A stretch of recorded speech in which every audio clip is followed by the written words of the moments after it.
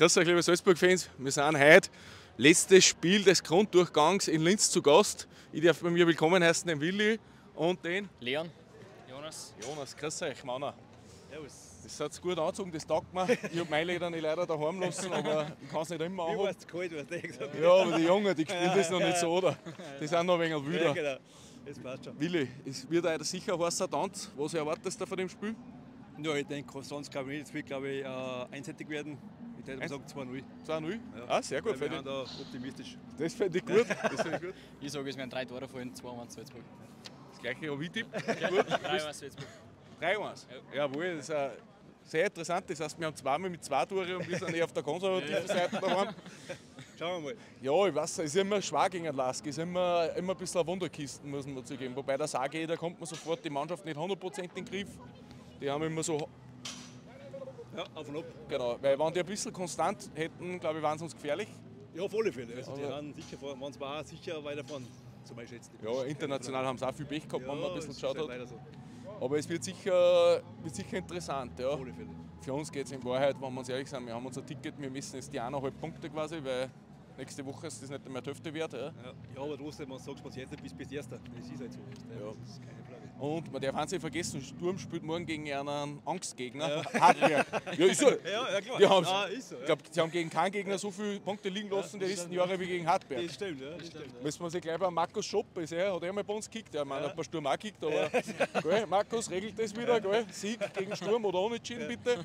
Passt gut. Ah, nein. Ich glaube, ein wenig gar nicht muss man machen, oder nicht? Alle Fälle, das passt schon. Das, ja. Was glaubt ihr, über wen rennt denn das Spiel heute? Jetzt fangen wir umgekehrt auf. Fernando. Fernando. Das war beim letzten Mal im Cup, war das Ja, schon. ja, genau. Äh, ja, auch Fernando. Fernando.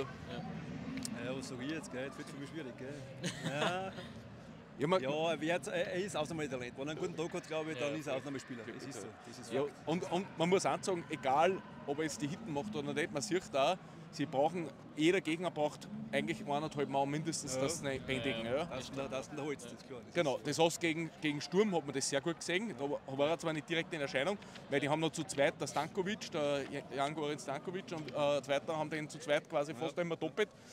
Was uns in der ersten Halbzeit dazu geführt hat, dass wir eigentlich ein komplettes Powerplay gehabt haben. Ein Überzahlspiel. Ja. Ja. Platz kriegst du dann dementsprechend. Genau, wir haben den Platz gehabt. Wir haben damals, wir waren eigentlich nur das Blöd damals bei dem Spiel, dass wir nicht die Hitten gemacht haben. Ja, ja. Weil ich habe danach sogar mit ein paar Sturmfans geredet und selbst die haben alle gesagt, Alter, wir haben eigentlich Glück gehabt, dass wir nicht 4-0 hinten waren nach der Halbzeit. Ja. In der Halbzeit schon. Ja, trotzdem, du musst sagen, es geht bei 0 los und im Endeffekt, das ist Fakt. Die Chancen musst du nutzen. Das hilft Ja, halt nicht. das- das, ist, das steht. Glück, Glück wirst Chancen kriegen, keine Ja. Frage, aber die Chancen nutzen. Das ist so. Man kann gleich einen, einen Euro in den Phrasenschwein schmeißen, aber es ist im Fußball so, gewinnen tut der, der die Tore macht. Und nicht wer schöner spielt. Das Ja. war schon immer so. Unterm Strich zählt das Tor. Das ist so. ja, ja, das ist. Ich möchte nur, wer Champions League die Wochen geschaut hat, Lazio, glaube ich, haben auch ein paar Ja. Chancen gehabt Ja. gegen Bayern, Ja, haben sie gemacht und ja. dann kriegen sie eine 3-0-Klatsche. Ja. Ja.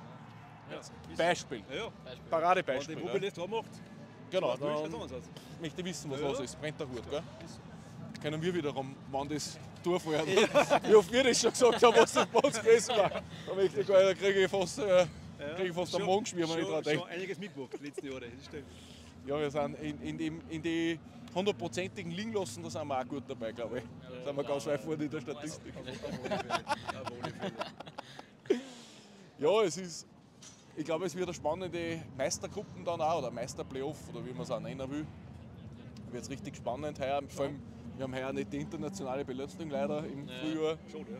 Schade leider. Aber vielleicht ist das auch mal gut, dass wir die Reserven haben. Wobei man sieht es jetzt richtig, wir haben zu viel Leute. Der Kader ist zu brat jetzt. Jetzt sowieso.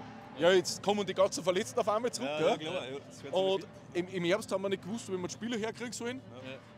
Ja, war wirklich so. Da, ich meine, da haben wir teilweise mit, weiß nicht, mit einer U18 quasi gespielt. Ja, Ja, ist. Wo selbst uns einmal, hey, wer, wer, wer ist das? Ja, ja, schau, schau mal. Das Ah, war den haben wir auch gehabt. war mir schon was, der, ja.